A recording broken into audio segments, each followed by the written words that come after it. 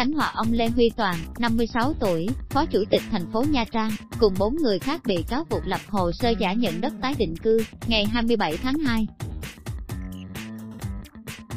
Ông Lê Huy Toàn, võ Mỹ 58 tuổi, chuyên viên phòng đô thị Nha Trang, và Lương Văn Giáp 35 tuổi, chuyên viên phòng tài chính kế hoạch Nha Trang, bị Tòa án Nhân dân Khánh Hòa xét xử về tội thiếu trách nhiệm gây hậu quả nghiêm trọng. Ông Lê Huy Toàn, Phó Chủ tịch thành phố Nha Trang tại tòa, sáng 27 tháng 2. Ảnh, Xuân Ngọc,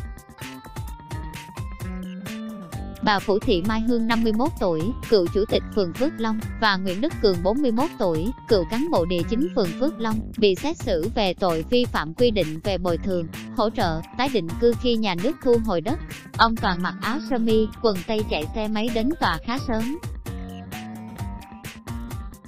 Phó Chủ tịch thành phố Nha Trang vào phòng xử án, điềm tĩnh trả lời các câu hỏi của hội đồng xét xử. Theo cáo trạng, công ty trách nhiệm hữu hạn MTV đầu tư xây dựng và địa chất UPVC thực hiện dự án khu đô thị Hoàng Long, rộng hơn 25 hecta tại phường Phước Long. Ông Toàn khi được phân công làm chủ tịch hội đồng hỗ trợ tái định cư, đã cùng các đồng phạm cố ý lập, làm giả gần 50 hồ sơ để được hưởng bồi thường, hỗ trợ đất tái định cư gây thất thoát khoảng 300 triệu đồng. Hương và Cường bị cáo buộc đã không thẩm tra, xác minh nguồn gốc đất, kiểm kê hiện trạng khối lượng giải tỏa, đền bù cũng như loại đất thu hồi thực tế. Việc họp xét duyệt nguồn gốc đất, hai bị cáo chỉ căn cứ trên giấy tờ, tài liệu chủ đầu tư cung cấp mà không đối chứng thông tin do Ủy ban Nhân dân phường quản lý, Tương tự, Võ Mỹ và Lương Như Giác hai chuyên viên phòng đô thị và tài chính kế hoạch đã không kiểm kê hiện trạng nhà đất thực tế của các hộ dân tại dự án, song cả hai vẫn ký xác nhận vào tất cả biên bản, gây sai lệch hồ sơ. Ông Lê Huy Toàn, chữa và các bị cáo khác trong vụ án tại tòa. Ảnh, Xuân Ngọc,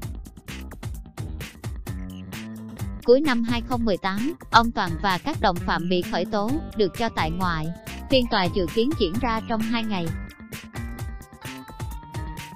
Liên quan đến vụ án, hai nhân viên của chủ đầu tư là Đỗ Thế Vinh và Nguyễn Ngọc Khánh, thành viên trong tổ công tác hội đồng bồi thường, cũng bị truy tố về tội giả mạo trong công tác, được tách ra xét xử riêng. Theo Hội đồng Nhân dân thành phố Nha Trang, ông Lê Huy Toàn bị đình chỉ sinh hoạt đảng, đại biểu Hội đồng Nhân dân của thành phố,